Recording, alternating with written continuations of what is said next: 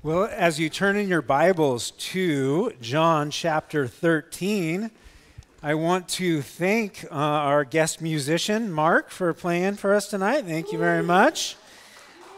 And not only that, is his daughter Michaela did slides tonight, and she did amazing. So thank you for that, Michaela. So tonight we are in John chapter 13. And I have an alliteration for you. Don't get used to it because I'm usually not very good at it. Uh, so it, we're going to look at the table, the towel, and the traitor tonight out of John chapter 13. And uh, I'm going to read a large portion of scripture tonight um, just because it's such a great scene and I don't want to break it up too much ahead of time. So uh, please follow along in your Bible. I'm going to read out of the NASB, and uh, then I'll pray for us. So, John 13, 1. Now, before the feast of the Passover, Jesus, knowing that his hour had come and that he would depart out of the world to the Father, having loved his own who were in the world, he loved them to the end. During supper, the devil, having already put it into the heart of Judas Iscariot, the son of Simon, to betray him, Jesus, knowing that the Father had given all things into his hands, and that he had come forth from God and was going back to God, got up from supper and laid aside his garments, and taking a towel, he girded himself. Then he poured water into the basin and began to wash the disciples' feet and to wipe them with the towel which he was girded. So he came to Simon Peter. He said to him, Lord, do you wash my feet? Jesus answered and said to him, What I do you do not realize now, but you will understand hereafter. Peter said to him, Never shall you wash my feet. Jesus answered him, If I do not wash you, you have no part with me. Simon Peter said to him, Lord, then wash not only my feet, but also my hands and my head. Jesus said to him, He who is bathed needs only to wash his feet, but is completely clean, and you are clean, but not all of you. For he knew the one who was betraying him. For this reason, he said, Not all of you are clean. So when he had washed their feet and taken his garments and reclined to the table again, he said to them, do you know what I've done to you? You call me teacher and Lord, and you are right, for so I am. If I then, the Lord and the teacher, washed your feet, you also ought to wash one another's feet. For I gave you an example that you also should do as I did to you. Truly, truly, I say to you, a slave is no greater than his master, nor is the one who sent greater than the one who sent him. If you know these things, you are blessed if you do them. Heavenly Father, thank you for your Son, that he was willing to serve, to serve to the point of death, to give us this amazing example that we see tonight of washing the disciples' feet. Lord, we pray that you would touch our hearts and our minds, and that you would motivate us, as Jesus has said, that we would do these things.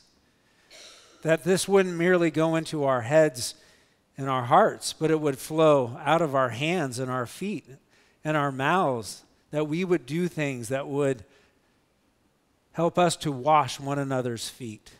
So please bless this night in Jesus' name. Amen. Well, let's return to verse 1 as we see these details that John gives us. It says, Now before the feast of the Passover, when Jesus knew that his hour had come and that he should depart from this world to the Father, having loved his own and were in the world, he loved them to the end. So it's good to know that the Passover was at hand. Now, this is the Thursday night before Jesus' death. And John radically hits the brakes in his gospel. The first 12 chapters of the Gospel of John, he is basically racing through Jesus' ministry life, the three years, most likely four years of Jesus' ministry life. 12 chapters for that. John, he slams on the brakes, and for the next five chapters, we're going to be looking at this Thursday night and all that occurred. The other three synoptic, synoptic gospels do not share what John shares. John gets into the weeds, and I so appreciate that he does. He gives us details that are amazing. So we see that they're together to celebrate the Passover that'll happen the next day. Now, the Galilean Jews, they would cel- celebrate Passover on Thursday. So those were the, were the northern Jews. And then they would travel down to Judea, to the southern jurisdiction, where the Passover would actually happen on that Friday. But Jesus has his disciples together to have this meal. And Jesus tells us that his hour had come. Remember that we've already gone, we've moved into this hour, that now it's time for Jesus to go to the cross. And this was, was what his life was set up to accomplish that death on the cross. He also said that he knew that he would depart from the Father. And I love that idea. He knew where he was from and he knew where he was going. And for us, do we know where we are from and where we are going? I know I'm from my mom and I'm from the miry clay, and now I'm going to heaven. I know that without a doubt because it's not based on me. It's based on Jesus and what he has given me in his word, the promises that he's made to me that my destination is secure. And Jesus knew that same thing. He knew who he was, what he'd accomplish, what he would accomplish in the near future, and where he'd be going after. Look also at the end of that verse. It says, Having loved his own who were in the world, he loved them to the end. First, you need to know do you belong to him? Are you one of his own? I hope you are. I hope you remember that each and every day that He owns you. In a sense, you own Him, that you have that relationship together, that He is your Lord and you are His servant. And He says that He loved them to the end, He loves them to the uttermost, He loves them to the vanishing point. It's never going to end, no matter what you do. No matter how you fall short, He will love you to the very end. Throughout this life, no matter the hardships that come, He has promised that He will love you through this life into the next. We won't get lost along the way. He doesn't lose His children. Well, let's look into verse 2. It says, And supper being end- ended, the devil having already put it into the heart of Judas Iscariot, Simon's son, to betray him. Now, the New King James translation says supper being ended, but it's better to say that supper being in progress. You saw that in the NASB. It says that supper is going on. So maybe the main dishes have been served, but they're not into the fullness of the meal yet. So, in the midst of the meal, something has gone awry. In this beautiful picture of this meal together with his disciples, Judas Iscariot is mentioned here, a blight on the whole scene. That he is there to betray Jesus, but he is in the midst of the fold, having this meal. But it's in Judas's heart to betray, supposedly, his Lord. In verse 3, we see that Jesus has great authority and great confidence. Says Jesus, knowing that the Father had given all things into his hands and that he had come from God and was going to God. Remember that Jesus has all authority. He had all authority as he sat at that table, as Judas was preparing to betray him. Jesus knew this would all have to play out and that he would rise from the dead after a horrible suffering on the cross and a separation from his Father. But all authority has been given to him. We remember that from John 3. It says that The Father loves the Son and has given all things into his hand. And then, in the midst of all that goes on in our lives, he has all authority. Remember in the end of Matthew when he says, All authority has been given to me, and I send you out. Go and make disciples and baptize in the name of the Father, the Son, and the Holy Spirit. You, under the Lordship of Christ, have given authority to preach the gospel, the Great Commission to go do his work and his will.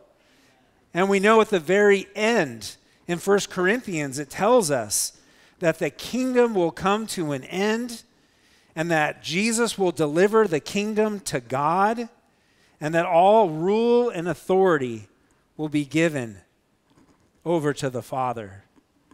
And so authority continues on and is consistent. Even we see the chaos of the world around us. God knows, and He's working out a plan. So don't lose heart. Continue to serve Him. Well, let's take a look at our next two verses 13, chapter 13, 4 and 5. It says, Jesus rose from supper and laid aside his garments, took a towel and girded himself. After that, he poured water into a basin and began to wash the disciples' feet and to wipe them with the towel with which he was girded. Something else has happened at this meal that's not appropriate. This is a meal that's held at a table called a triclinium. Now, Leonardo da Vinci did us a disservice because you're used to seeing these 12 apostles and Jesus on fold up tables, all lined out in a long row. But the way that it happened was a low table shaped like a U. It was a Roman table called a triclinium. And it was a low table where you would lean on your left arm and you would eat with your right hand. I don't know if you've ever had Thanksgiving or a meal out where you eat so much that all you want to do is go home and lay on the floor. Well, they just kind of cut out the middleman here and they just laid on the floor right away. But the problem is, you're stretched out around this table, is that your feet are hanging out by the other guy's head. And there's a problem here because their feet were unclean. They did not take care of having their feet washed before they came to the meal. And we know the reason that they didn't do this is because this was a slave's job. The lowest slave of a house would be the one washing the feet. And as people walk through these dusty roads, these dirt roads in Jerusalem and through the Middle, Middle East, you would pick up a lot of dirt and a lot of dung on your feet. And the last thing you want to do is drag that into a home. I mean, we have that kind of culture today. You'll go to some homes and they'll ask you to take off your shoes before you come in the house. Now, sometimes for me, the solution is worse than the problem. Because, uh, I mean, it, it's just sweaty feet, you know? It's just the way it is. But, but I understand it and I honor it and I like to know ahead of time so I can bring some fresh socks or you know, some shower to shower into my shoes before I come. But we see here that these disciples with dirty feet are at the dinner table. And Jesus is the one who's going to step up to take care of the disciples' feet. Another reason we know this has happened is because in Luke, it tells us about the disciples' heart and where they were at do you remember this? Even in the midst of this meal, tells us in Luke 20, 22, 24.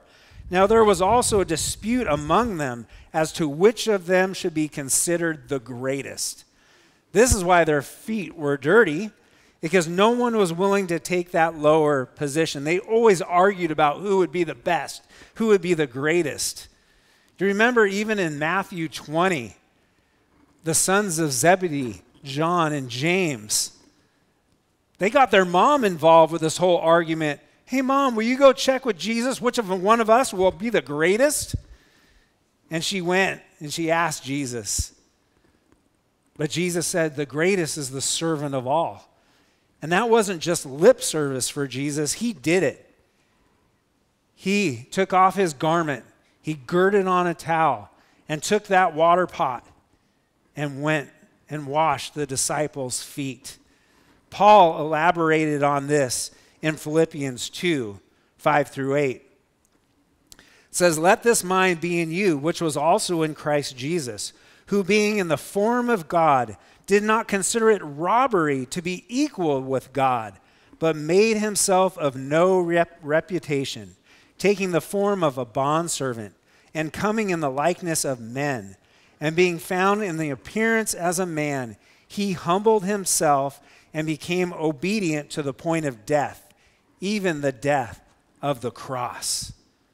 So, Jesus, being the creator of the universe, the creator of these very men, the creator of the dirt that was on their feet, was willing to humble himself and wash their arrogant feet, their fighting hearts.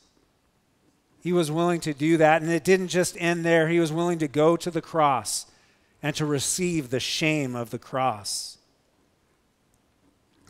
Well, back into John, verse 6. It says, Then he came to Simon Peter, and Simon Peter said to him, Lord, are you washing my feet? And I like Peter. He just can't help himself, but I think he's speaking for the whole group. He, re- he realizes who he is he realizes that he's a dirtbag. You know, that Jesus shouldn't be washing his feet. So it seems that he is speaking for the whole group. He knows, I am a sinful man. You can't be washing my feet. You're not the lowest slave. You're the Lord of all. You're the greatest. But he does speak out. He understands what's going on here, what Jesus is doing for them. Peter gets a response from Jesus. Jesus answered and said to him, What I, what I am doing, you do not understand now, but you will know after this. What I think is about funny, funny about this is maybe John, maybe Peter should have just, shh, Peter, just chill, be quiet. You don't understand it now, you'll understand it later. But like Peter is, he can't help but insert his foot into his mouth, even that dirty foot, and he has to speak out. It says, Peter said to him, You shall never wash my feet. Jesus answered him, If I do not wash you, you have no part with me. Simon Peter said to him, Lord, not my feet only, but also my hands and my head. So Peter, he foibles once again. Now he's telling his Lord how this should all come down. He's telling his Lord what he should do. Lord, you'll never wash my feet. That's not something that we should tell the Lord that we should never do something. I often say in marriage, there's two words that we shouldn't use never and always. It's weird how they come out. You never do this. I've done that like one time in 20 years. Are you serious? Or you always do that. So just be aware. Try to keep those out of your vocabulary in marriage. But here, Peter throws it out. Never will you do this. Well, how did it actually work out for Peter? He got his feet washed. But then the backlash, the pendulum swings, and he's merely seeing this as a physical exercise. Remember that throughout John, he's trying to bring in spiritual application to what's going on in the lives of those who Jesus interacts with. Remember from John chapter 3, you must be born again. Nicodemus is like, What? I'm, I'm supposed to be born again out of my mom? No, Nicodemus. The woman at the well, living water? Give me this water so I don't have to come back to this well. No, living water is something else, something spiritual. You must eat my body and drink my blood. Remember, that wasn't literal, it was spiritual. So, once again, Jesus is trying to lift up Peter in his mind in regards to a spiritual principle. But he just goes, No, wash me, wash all of me, wash my hands, wash my head. But Jesus responds and he expounds on what he's trying to get across to them. John 13, 10 and 11, Jesus said to him, He who is bathed needs only to wash his feet, but is completely clean. And you are clean, but not all of you. For he knew who would betray him. Therefore, he said, You are not all clean. So, can you see the inference to a spiritual cleansing there? Because he knows that not all of them are clean. Speaking of Judas. But in the practice in the Middle East at this time, within the courtyard of your home, you would have a big water pot or cistern that you would go down into and you would bathe. You would get your big bath of the day. And then, once you rose up out of that bath and dried off and got clothed, then you would just walk through the city and do your business. But when you came into a home, the slave there would wash your feet. Jesus is saying that same thing to us in a spiritual way. We kind of need to learn to read our Bible backwards. And we have to read it back to front to understand what he's saying. We have to know the Bible back and forth. He's saying that his blood would do the cleansing. His blood would be that that would pour over us and take away all our sin, past, present, and future. And our relationship with Jesus would be there and be constant. But as we trod through this world, we step in it. We make mistakes. We sin. We fall short of the glory of God. And what's the antidote? washing of our feet. And we see that in 1 John 1 9. You know, the Christian slang, the Christian's bar of soap, that's what we get out to wash our feet with. If we confess our sins, He is faithful and just to forgive us and to cleanse us from all unrighteousness. And it continues our relationship with God. When we sin and we have unconfessed sin, our relationship with God, not in eternity, but just right on the surface, it's broken down. It isn't all that it should be. But we confess our sins, then we can have that unity and oneness with a holy God. So know that the big cleansing has happened at the cross, but we constantly come to Him to have our feet washed so that we stay in communion with Him. So it talks about this many times in the epistles that it's the washing of the water of the word that cleanses his church. It also tells us in Psalm 119 how does a man cleanse his way? By taking heed according to the word. So we need to have short accounts with the Lord. We need to quickly come to him when we've fallen short, when we've stepped in it, and he will cleanse us and bring us back into an appropriate relationship with Him. Well, let's move into verse 12. It says, So when he had washed their feet, taken his garments, and sat down again, he said to them, Do you know what I have done to you? And what's amazing here is that Judas isn't left to the side. Jesus washed all of their feet, even the one who is going to betray him. I don't know if you had foreknowledge of someone who was going to throw you under the bus, you would probably avoid that person. You'd probably stay away. You'd probably just get their pinky toe and that's it. But no, Jesus, in a sense, bathed Judas's feet, but it was not enough. Judas was not one who called Jesus the Lord of his life. But Jesus washed his feet anyways, even though the betrayal was going to come. This idea of not knowing what I have done to you, I just think of the apostles hearing this question Do you know what I have done to you? Yes. We totally get it. Uh, just because they're like us. And Jesus sometimes talked in mysterious ways. But Jesus brought more clarity to the situation in the next verse. It says, You call me teacher and Lord, and you say, Well, for so I am. Some translations say master and Lord. I kind of like that idea of master. Is he your master? Is he your teacher? Is he the greatest influence of your life? Do you get your education, your spiritual education, from other sources?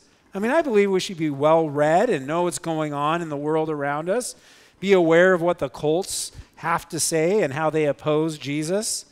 But he should be the master, the main teacher in your life, and he should be Lord. But also, see at the end of this verse, he once again lifts up an I am statement. Says, For so I am. He is God. God, the Creator, who just washed their feet. The example has been given. In verses 14 and 15, it says, If I then, your Lord and teacher, have washed your feet, you also ought to wash one another's feet. For I have given you an example that you should do as I have done to you. So, is he giving us the ordinance of foot washing? Have we been missing it at Oaks Bible Church because we don't have foot washing parties every six months? I don't know if you've ever been to a foot washing. Anybody here been to one before? They're kind of rough, aren't they? I mean, especially if they sneak one out on you. I remember the last one I heard about, it was actually about, ooh, man, 24 years ago. We were on a bus and we got off after a long day of walking and we got noise, got word that there was going to be a foot washing ceremony. And I remember that I slinked around the other side of the building so that I didn't have to uncover my feet and all that goes along with that to these people who just really wanted to serve me. But it was on my own conscience, you know, my own frailty in that way. But there's no ordinance for foot washing for the church to follow as an example. Really, there's two ordinances, and the way that we sort that out is one that we see it in the Gospels. We see something proposed, something done in the Gospels. We see it repeated in the book of Acts, and then it's expounded on in the epistles. So the only two ordinances that the church has are baptism, because we see that in the Gospels, we see it in the books of in the book of Acts, and it's expounded upon in the epistles. And also the Lord's Supper, what we do in regards of communion. So those are the two ordinances that the church are given today. So remember that he is talking about a spiritual practice here. And so it doesn't really translate in our world today. We've got sidewalks everywhere. And not much not many of us walk around in sandals getting dirt on our feet much. I know there's a lot of flip flop people out there, and you get some dirty feet, but the church, in a sense, isn't called to wash feet.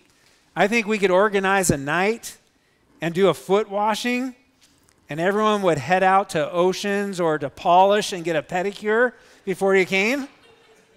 And it really wouldn't be serving the purpose that foot washing is all about. Foot washing is supposed to be how we spiritually serve one another and give each other servanthood in humility. Humble servanthood to one another. And that translates different for each one of you. There was a time in my ministry that moving people was washing feet, helping them pack up their homes seeing all their dust bunnies under their beds, under their mattresses, behind their armoires, hauling those things into a U-Haul, taking it across town and dropping it off in their new home. That was the way that I washed feet back in the day. I'll still do it today, but it's rough work. It's a lot harder in my 50s than it was in my 30s. But what are other ways that you can wash each other's feet? I think one of them's in the bulletin. You've seen five plus names in the bulletin. You could wash their feet by praying for them. Maybe you could go the extra mile and call them and say, How can I specifically pray for you? Kind of the way I like to wash feet nowadays is to be at the door. And as you come in, sometimes you'll share with me what you stepped in what's been going on, what's been hard. Sometimes it cracks you open and the water flows and there's cleansing that happens. but you just share your burdens. But please look for those opportunities to wash one another's feet. I want to kind of speak to the husbands in the room. What's the washing of the feet that needs to happen within your home? I mean, maybe if I pulled out a bowl of water and washed my wife's feet, it would go a long way. But maybe it would go much further if I actually washed the big old bowls in the sink that have been piling up for the last two days. But just to be aware of something you can do. And you parents, I know that you guys wash your children's feet all the time. They don't even understand it that you're washing their feet all the time. I want to thank you for that because that's what we need. We need godly parents washing their children's feet. That will keep this world from decay as you pass on spiritual cleansing into your children's life. But children in the room, I don't know. Is there something that could be done for your parents? Could you wash your parents' feet somehow? I don't want to give you any examples. I'll let you sort that out on your own. But humble foot washing is still for today. And I would just ask that you would pray and you would think about how you might serve others, not just within the body, but those out in the world. Well, let's move back into John chapter 13, 16, and 17. It says, Most assuredly I say to you, a servant is not greater than his master, nor is he who is sent greater than he who sent him. If you know these things, blessed are you if you do them. So we are not greater than our master. Jesus, he is our teacher and our Lord. We need to follow his example and do as he said, as he says. Don't separate you, separate yourself from doing what Jesus asked. We need to be his humble servants. But also notice what it says at the end of verse 17. It says, Blessed are you if you do these things. I think a lot about church is about knowing things. It doesn't say, Blessed are you if you know them. Blessed are you if you do them. And church can be a lot about head knowledge and about knowing. And somehow we feel secure in our intellectual understanding that I'm good, I'm blessed. I mean, we come to church for a blessing, and I definitely want my mind stimulated. The Lord uses the mind and the heart. But if it ends just with these two parts of our body and doesn't come out of our hands and our feet, then we're stymied. We're not as blessed as we could be. So it says, Blessed are you if you do them. Don't just merely know these things, but do them. Well, we're going to move into our last couple verses. And this picture, beautiful picture of service, is broken. It says, I do not speak concerning all of you. I know whom I have chosen, but that the scriptures may be fulfilled. He who eats bread with me has lifted up his heel against me. Now I tell you before it comes, that when it does come to pass, you may believe that I am he. So here we see that Judas isn't brought out by name, but he knows that there's the traitor in the room. And often within a church service, you'll have three types of people. You'll have the committed, those are committed to the Lord, that are saved, that are born again. You'll have the curious, those who are there just to see what's going on. I've heard rumors of this church or rumors of Jesus, rumors that the Bible is true. And they're curious and they want to know what's going on. They want to know, why are you so happy? In the midst of such diff- difficult circumstances, why do you continue on and praise this God? You have the curious. And then, like Judas, you have the counterfeit. Somebody's in the room, but he has not submitted his life, his will to the Lord. And my prayer is if there were to be a counterfeit here today, that as long as you have breath in your lungs, you can call upon the Lord to be saved, and that you would do that very thing. Judas had already made a plan with the devil that he was going to betray our Lord. So his, his road was already cast before him. And we're going to hear more about him next week. But we also see that Judas is a fulfillment of prophecy right out of Psalm 41, verse 9. It says, Even my own familiar friend in whom I trusted, who ate my bread, has lifted up his heel against me. That this person who shared intimate meals with Jesus was going to betray him. Judas went to the University of Jesus for four years, but he just didn't get it. He had another plan, he had another agenda. He wanted the overthrow of Rome. He was the CFO, the chief financial officer. He was looking for a lucrative position in regards of the world's riches. Oh, can't you see that this world is perishing? There's nothing here that's going to go with us into eternity. But what you do for one another, your humble service for one another, that gets loaded up in heaven aforetime.